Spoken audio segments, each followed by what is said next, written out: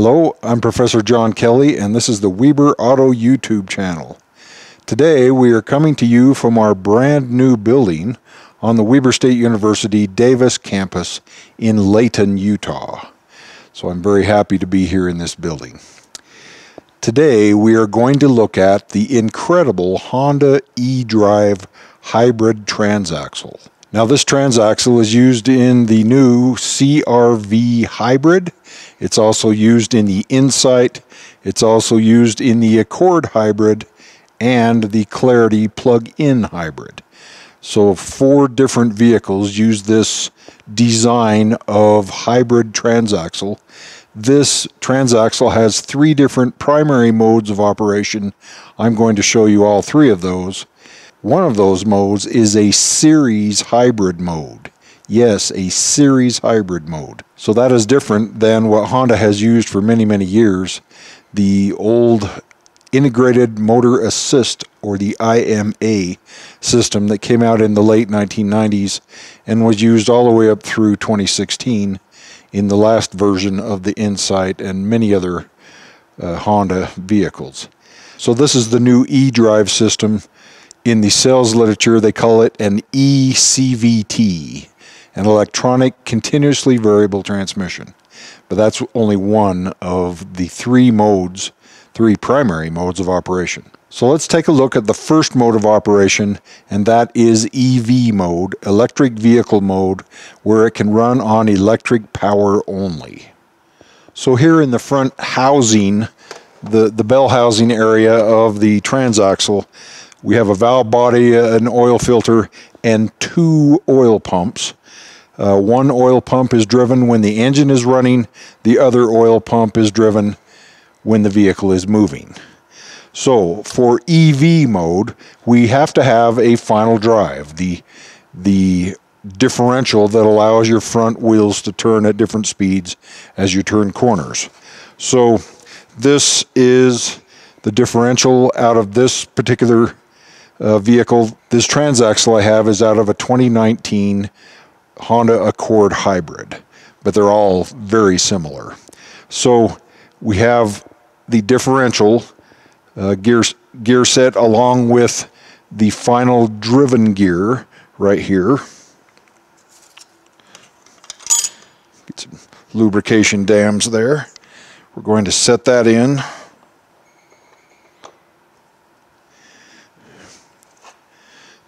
And there is a counter shaft. And both of these have to go in together.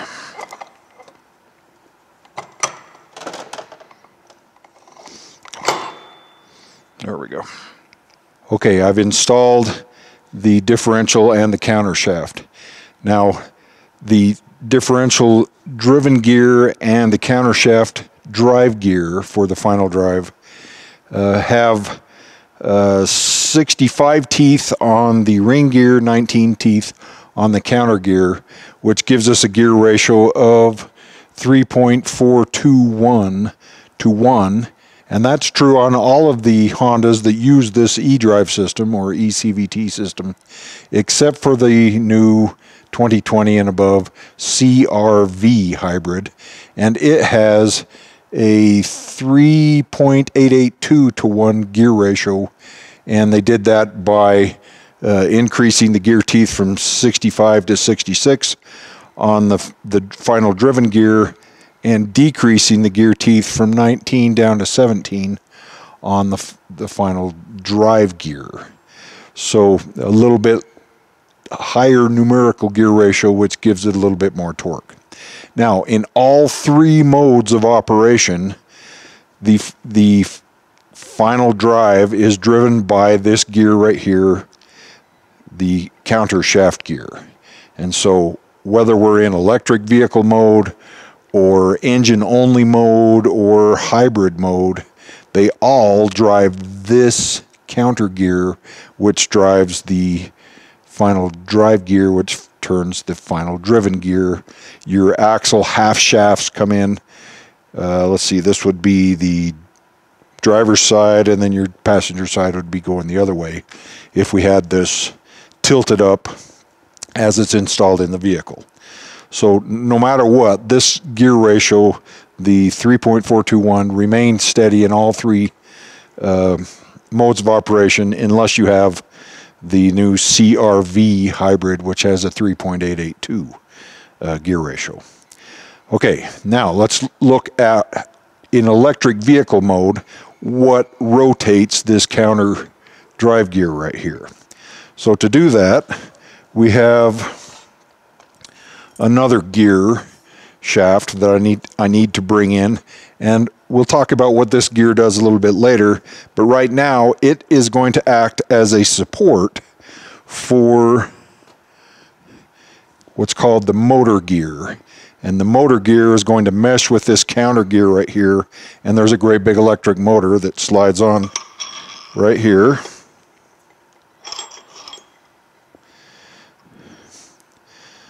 So now, let me bring in the motor.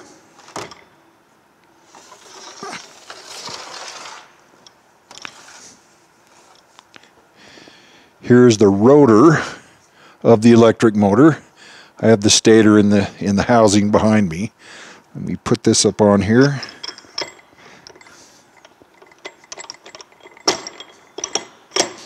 There we go. Okay, this motor, as you can see here on my uh, labels, is rated at 135 kilowatts, which is 183.6 horsepower. This is called the motor uh, in all the Honda literature, and there's another smaller one called a generator that we'll talk about later. But don't be fooled into thinking that this is like any other two electric motor hybrid uh, out there. This is not. This is this is different. Um, so this has 315 newton meters of torque or 232 pound force of torque uh, as its maximum. And if we rotate it in this direction, the teeth on the motor drive gear right here are 22, and then there are 54 teeth on the counter gear right there and that gives us a gear ratio of 2.455 gear reduction. So it takes 2.455 rotations of the electric motor rotor to rotate the counter shaft one rotation, and then it takes another 3.421 to rotate the the final drive gear uh, over here.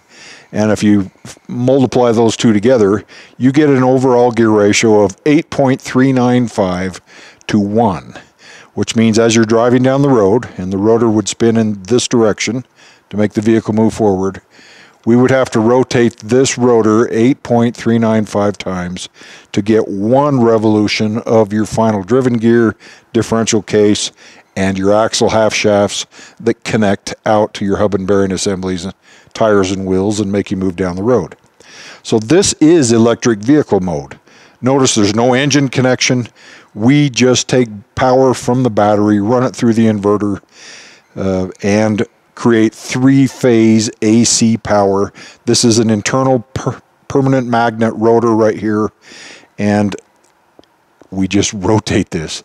And this mode is on by default every time you get in the vehicle and power it on and drive away. And the only limit on the speed is the top speed of the vehicle. You can stay in this electric mode as, as fast as you want to drive it, uh, or as fast as it'll let you drive it uh, within the legal speed limit or, or uh, higher. Uh, I believe it was rated at 87 miles an hour or 140 kilometers uh, per hour was the maximum speed in EV mode. So that's EV mode only. So uh, once again, we use power to drive the motor to make the vehicle move down the road. Yes, we have regenerative braking. So now instead of turning the rotor to make the final drive gear rotate, the tires through the half shafts into the side gears of our open differential here are going to turn the final drive gear. And that will cause the rotor to spin 8.39 times faster than the tires, which can give us regenerative braking depending on the state of charge of the battery and, and several other things. but that would help put power back into the battery. All right, so this is just EV mode uh, for uh, regular driving. All right, next, let's go into engine only mode.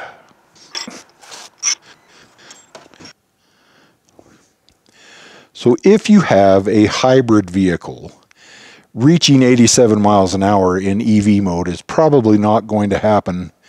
And if it does, it won't last very long because you will run out of battery power. Um, but if you have the Honda Clarity plug-in hybrid, then that will give you some additional battery power that will allow you to drive uh, a certain number of miles on that battery range. And you yes you could continue driving clear up to as high as 87 miles an hour. But you will reach a point where driving the electric motor won't be as efficient as just running the internal combustion engine. Now this typically starts around 62 miles per hour or 100 kilometers per hour and in engine only mode we directly connect the engine's crankshaft that rotates to our final drive countershaft and, and dr drive and driven gear uh, here. So let's see how we do that.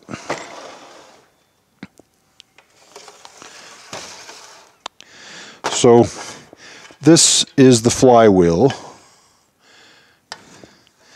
that connects to the back of the engine crankshaft. It has a permanently applied clutch uh, in here. This permanently applied clutch disc uh, is there as a safety breakaway if for some reason something in the transmission or something in the engine seized up. Uh, it would allow this to slip and allow for a difference in the speed of those two uh, pieces. But uh, all hybrids have some sort of a, a clutch like this. But the main point I wanted to point out here is there's a set of splines here in the middle. So this crank or this flywheel is rotated by the crankshaft. There's some splines right there.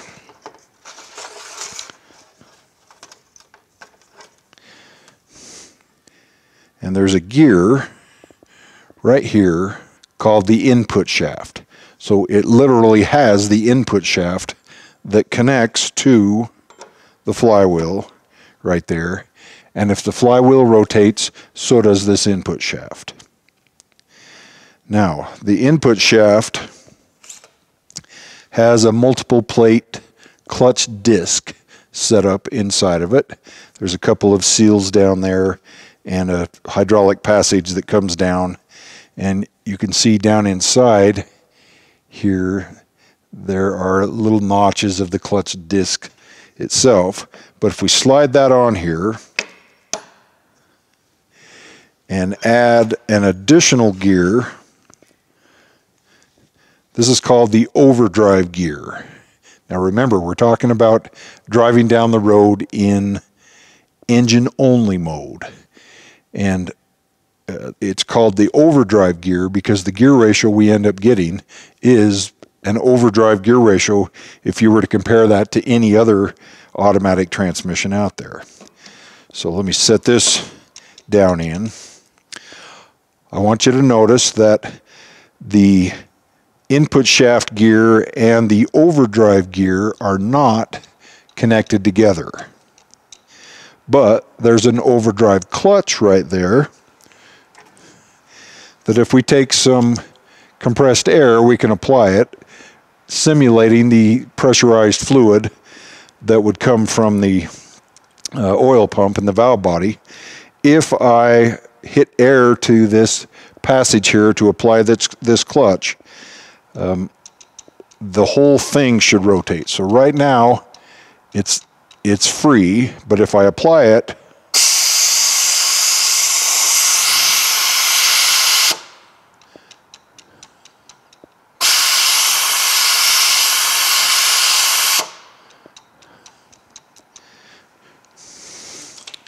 So we have a gear that we can connect to the engine or disconnect from the engine that will turn the counter shaft gear over here to drive us down the road. Well, let's put all this in the housing over here and see how it works.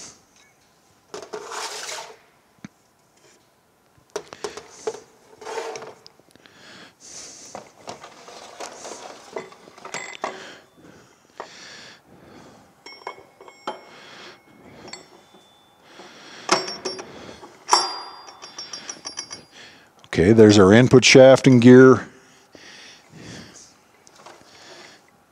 installed. Here comes our overdrive clutch pack installed. Got a bearing and then our overdrive gear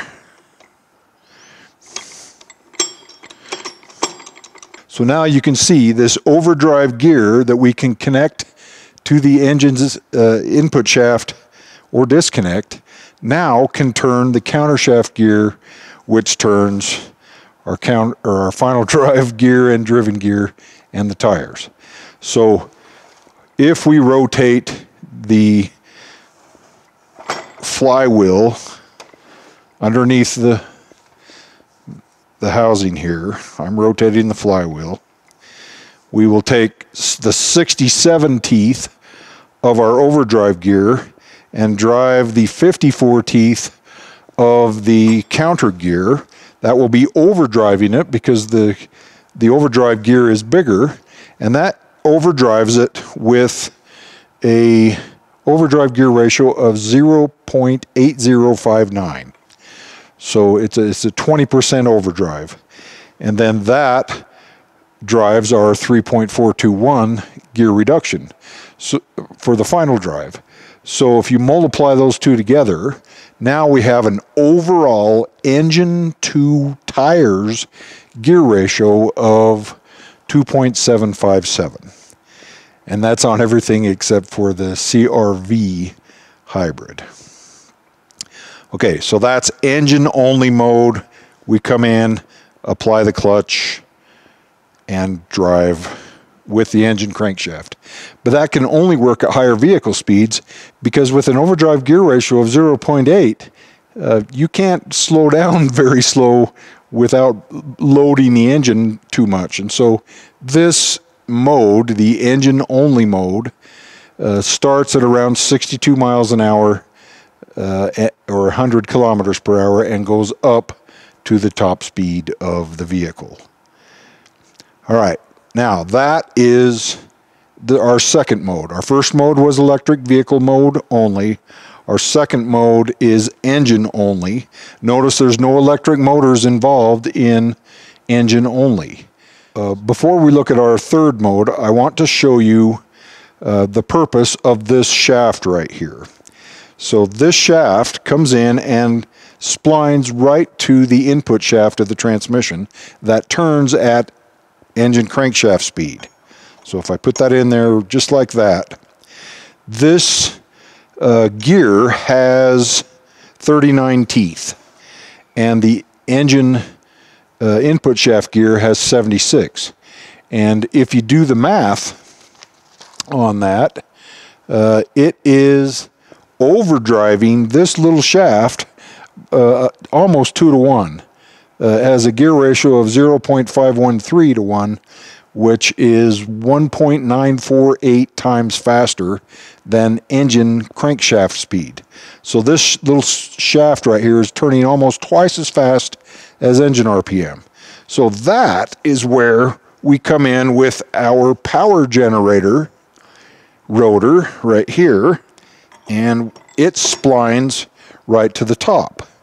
So anytime, whether the overdrive clutch is applied or not, anytime that engine is running, it is also rotating this generator anytime. Now that doesn't mean it's charging because uh, with the inverter we have the ability to turn on or off the charge or anywhere in between. But the capability is there. So this uh, gives it a little bit more flywheel action uh, as well. But this is rated at 106 kilowatts of power as its maximum output. Um, so that's that's pretty impressive um, for it, its capability. So now we have a generator that's capable of producing 106 kilowatts of power. Let's take that off for a moment while we put together the rest of the electric motor side of the transmission. Um, here is our motor, electric motor drive gear. It has some teeth on the bottom here where the parking gear can come and spline in place just like that. It rotates with the gear and then there's a parking pawl that will come in and grab one of those teeth and keep it from rotating when you put your transmission in park. And since that is splined directly to the counter shaft, it prevents your CV half shafts from rotating. But I'm going to leave that off in this demonstration. I'm going to put on the motor drive gear now. It only makes contact with the counter shaft. It does not contact the overdrive gear uh, from the engine. And now we will put on our motor right there, our 135 kilowatt motor, and we will put on our 106 kilowatt generator right there. So now we have completely assembled the uh, transaxle as far as the gear train is concerned. Okay, in the third mode of operation, we have the engine running and we use the electric motor uh, to move the vehicle down the road. With the, with the engine running, it is rotating the 106 kilowatt generator, uh, and so it can turn it at any speed. So the engine RPM can go up and down and have nothing to do with vehicle speed because we have we have not applied the overdrive clutch and we're not driving the overdrive gear. So the only thing the engine is doing at this point is turning this little tiny gear and shaft to turn this generator to create electrical power. Now that electrical power then is fed to the inverter where some of it could go to charge the battery, uh, some of it, or, but the majority of it will come back to the electric motor to drive the vehicle down the road. So there's no direct mechanical connection between these two motors. And that is, by definition, a series hybrid. Now, Honda's old IMA system was a parallel hybrid. This is a series hybrid. Uh, all the Toyota hybrids are, are series parallel. The, the Chrysler Pacifica is series parallel. Chevrolet has uh, one mode in their latest model, Chevrolet Volt, that is a series parallel operation. So there are different types of hybrids. Not all hybrids are equal. So I think this is a really cool design. Uh, I really like it. I, I, I, think it's well thought out. Uh, this is the second generation one right here. The first generation came out in the 2014 Honda Accord. Uh, this is the second generation. There's a third generation one. This is just a light overview of the Honda eDrive system. Uh, I will spend some more time with additional components. I've got a battery and the inverter and the DC to DC converter and everything else coming here shortly. But I, I thought that this was interesting enough uh, to show you something different out there, and and Honda's known for that. They they they come up with a lot of unique ideas and a, a lot of really cool uh, ideas as well. So uh, that's it. Thanks for watching. Have a good day.